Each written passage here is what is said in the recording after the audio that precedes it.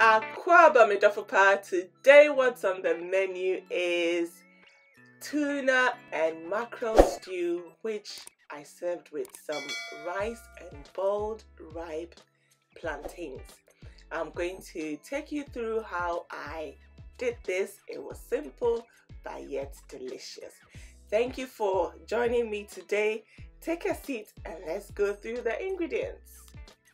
So I use Aftrad Village Kitchen 7 and 10 spice blends and natural spices, some plum tomatoes, tomatoes on the vine which I had frozen and it was defrosting, some home grilled mackerel and home grilled tuna, some scotch bonnet, spring onion, garlic, ginger, onion, and some zomi palm oil, some anchovies, and some homemade tolo beef. The, the full list of the ingredients is in the description box.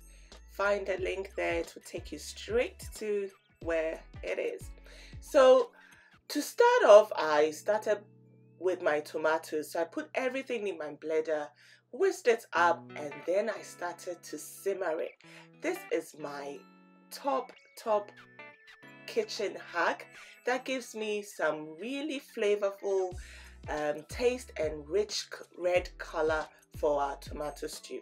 So I got that on the hob and whilst I was simmering down, I went ahead to get my trio plus one mix together. My trio plus one mix is, you know, in Ghana, we use ginger, onion, garlic, and pepper in our cooking. So it always forms the basis of our Ghanaian stews or soups. Blended the mix with just a little bit of water.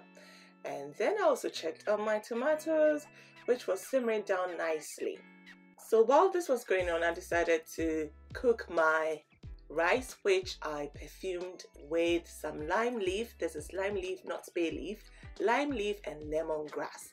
The aroma and the flavor it gives to this rice is just mm, mm, mm, you need to try it. So a bit of that and some salt just for taste and water. So i love my rice to be fluffy nice and soft and fluffy and yet still single grained. And so i added enough water to cook this. No oil in this no onions it's just water and flavored with the lemongrass and the lime leaf. After about 20 minutes, the tomatoes had simmered down into a lovely paste. This is what I need. And I was ready to start the stew. So got my pot on, heated it up, and then added in the palm oil. Next to go in was the tolo beef and then the anchovies, including the oil. I'm using anchovies in oil. I fried this for about a minute and then added in the sliced onions. So I let this cook for about a minute or two just to get it to soften up and to start browning a bit.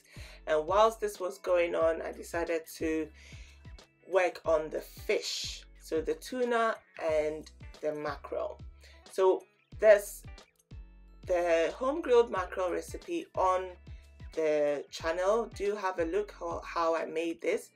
And I just love to break my mackerel up because I love to remove the bones. It just makes eating it a little bit easier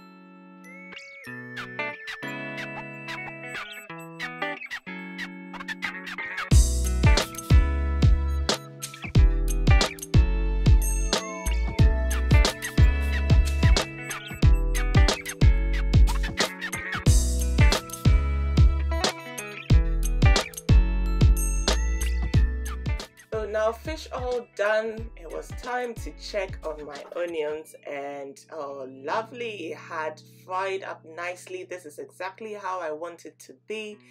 And it was ready for my trio mix to go in there. So my onion ginger garlic and pepper mix went in there.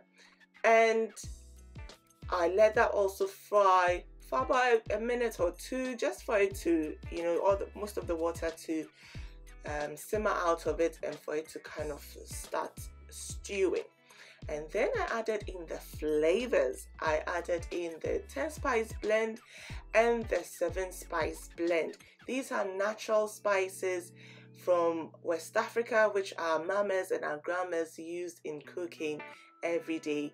There's no preservative, there are no sugars, very low salt, so it's really good for you. So just look how lovely our sauce is. That is how we want our sauce to be. So the next thing was to put in the simmered tomatoes.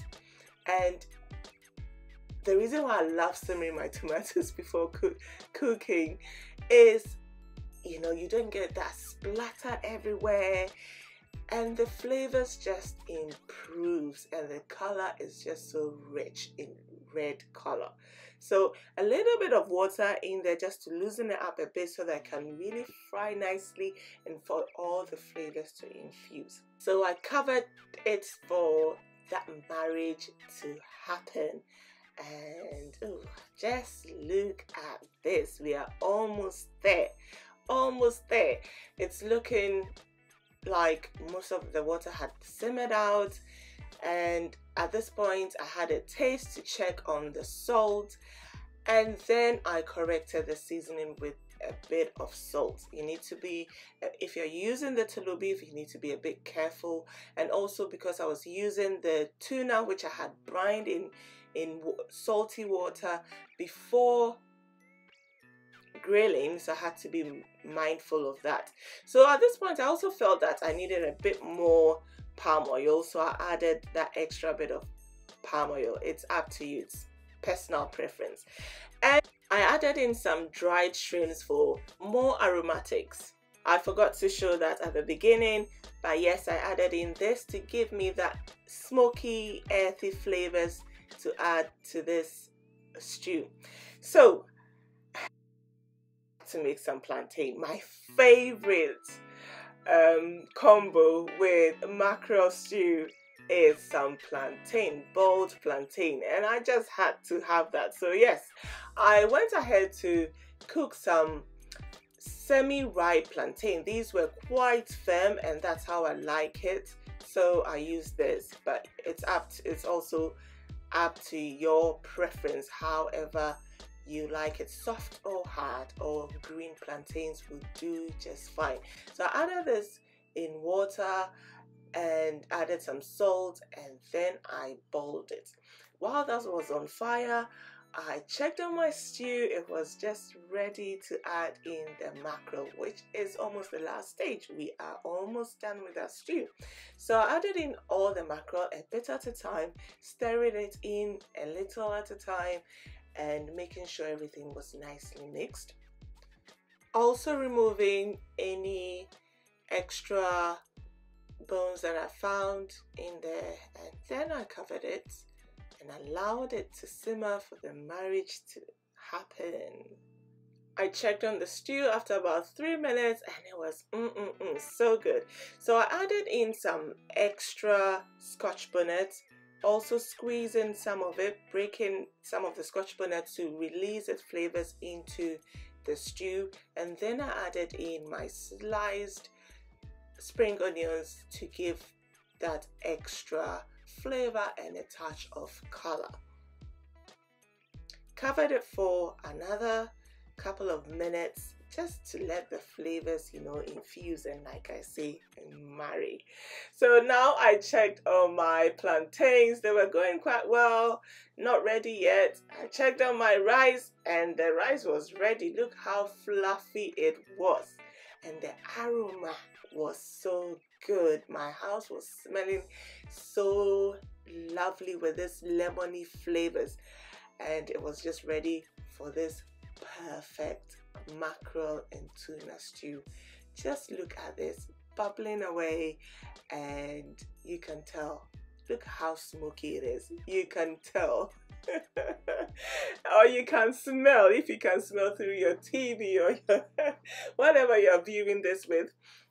It was super tasty, super flavorful, simple flavors, and it was just so good. It was ready for me to serve up and yeah we're going to have this with our rice and with plantain. So yeah those who wanted rice went for rice. Those who wanted plantain went for plantain. And you can guess what I went for. But this can be served, this stew can be served with so many things. It can be served with boiled yams, boiled potatoes, some kenkey. Yes, it will go really well with kenkey. Even couscous. Yes. So the uses of this stew is endless. So be adventurous and make your own combination. And when you do make those combinations, please share your photos with me and let me know how you love this stew okay? So yes here we are. Our mackerel and tuna stew is ready and being served okay? You could make this only mackerel and mackerel stew omit the tuna or you can also just make it as a tuna and only tuna stew. It also works perfectly. But today I wanted to go for the combination set. Hence we have a mackerel and tuna stew. So made of a Medofapa, don't forget to hit that like button.